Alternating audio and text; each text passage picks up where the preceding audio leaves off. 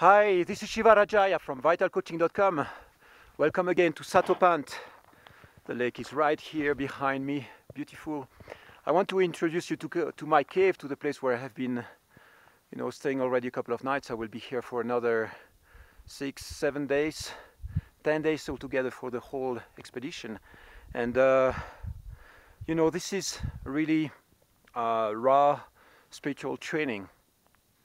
Very often, when you uh, think about you know training your body or doing some yoga, this will be within the the comfort of uh, you know a nice yoga studio. You have nice cups of tea, and uh, you have your nice uh, cozy yoga mat, and so on. And all that is really great, but you have lots of approaches which have nothing to do with that uh, mystical approaches that take you into the desert. You know, through the Sufi or Muslim tradition, you have the Buddhists that go into uh, big caves as well. If you look at the way the you know Tibetan monks train, the way the sadhus uh, experience their spiritual path here is very similar to what I'm doing here, except that I have a little bit more comfort, a little bit more equipped, you know, with the West kind of gear you know, maybe a warmer sleeping bag and a nice down jacket and so on. But otherwise, the you know the impulse is very much similar. So I want to show you where I'm doing all that. This is intense sadhana or yoga yoga practice or uh, training, uh, spiritual practice for uh, for 10 days, and uh, yeah, it is intense. It's not the traditional 250 hours teacher training that you have in most yoga schools. This is different. It is Tantra, yoga, or you can call it whatever you want.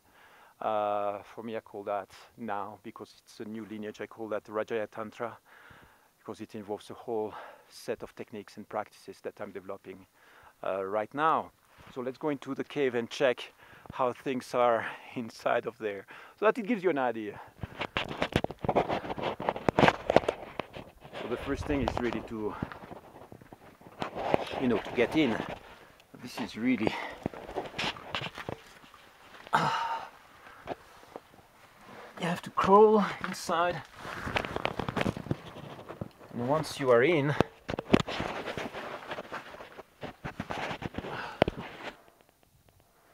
see the little entrance uh, I did put my tent outside by the way because just in case it would get too humid here you know I didn't get storms yet but uh, it could be that maybe water would be streaming here so I want to have just the security of, uh, of that. I have my uh, food supplies right there some water that I go and get from the river and the lake nearby with a few uh, things, Chyawanprash and Ayurvedic powders and in there I have the big box uh, that I found here in another cave. I have the you know flour nuts and seeds and so on. As you can see it's very simple. Some of my writings here, some Ayurvedic oil and uh, you know it's very small there isn't much space in there and uh, this is another reason why very often this kind of experiences you cannot uh, really do them with with a group and you would have to set it up differently. But because basically the space and also the temples the inner realities you enter in very often are just for you at that time. Uh, I met this very wise old woman many many years ago and I was wanting to go and travel with a female friend that I had at that time. And uh, but she was very reluctant to take the trip. And I was like but we have to do that together. And I didn't understand why this was not going to happen to the two of us. And um, uh, this old woman that I met by, by coincidence she, she said uh, something really wise. And it is there are many temples that in which you can only enter alone. You cannot enter holding somebody else's hand. And that's not the case for every spiritual experience, but for many spiritual experiences. Yes, many of them you're being called by yourself because you are the person, the being who is ready at that time.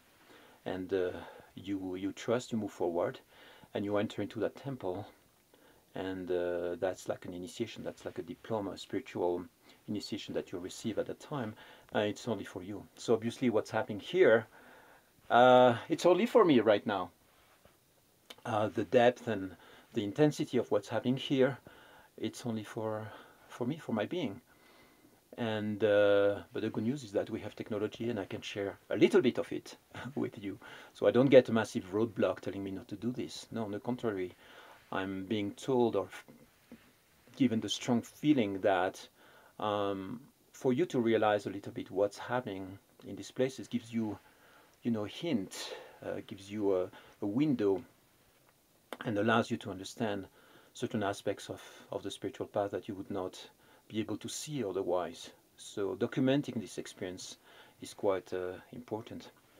So I have my know, sleeping bag here and uh, I sit down and meditate here for long periods of time. Also lay down dur during the day and go into um, you know practices, mental practices, uh, mental training practices that I that I developed as well. And um, there is an element that came in.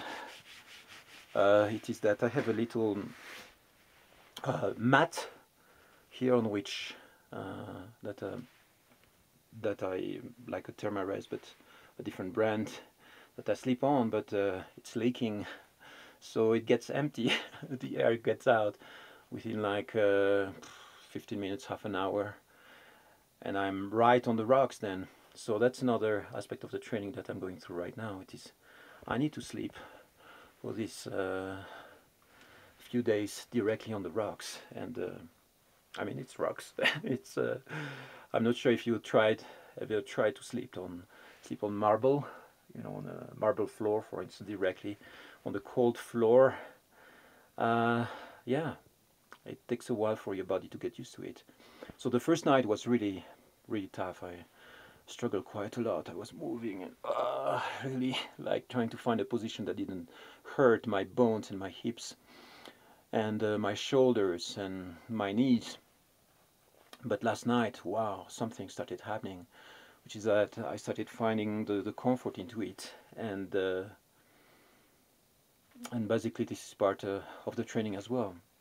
Uh, I will talk more about uh, discomfort and pain and stretching your body to limits, you know, and uh, what it does really to, to, to your brain, to your to your body when you go into these levels, when you start tapping into survival and uh, getting out of your comfort zone. And obviously, right here, I'm already in my out of my comfort zone, uh, but somehow, you know, over the years, I started becoming comfortable to be in environments like that. But now, what I still had was a little comfort of a little mat and this was taken away from me as well because I guess that's something I need to explore so um, I will talk a little uh, more about all that uh, you know physical pain and and uh, suffering and pushing your body and you know what it what it does to your mind and I must say that after a couple of days of sleeping on the ground directly see my mind is really bright and and active I feel like a very high level of clarity inside of me.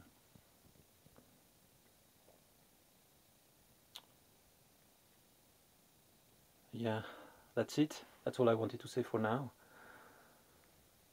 Uh, greetings from my Satopanth cave here, where I'm doing my 10 days of intense sadhana, intense spiritual practice, training, exploration, to bring you back lots of juicy ideas, jewels, and techniques.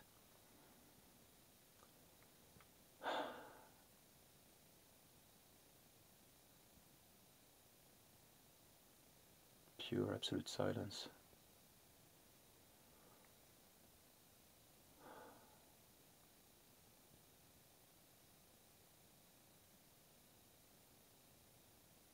Emptiness and at the same time pure energy.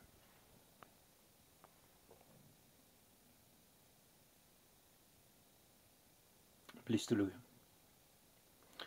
Please to you, I love you. Bye bye.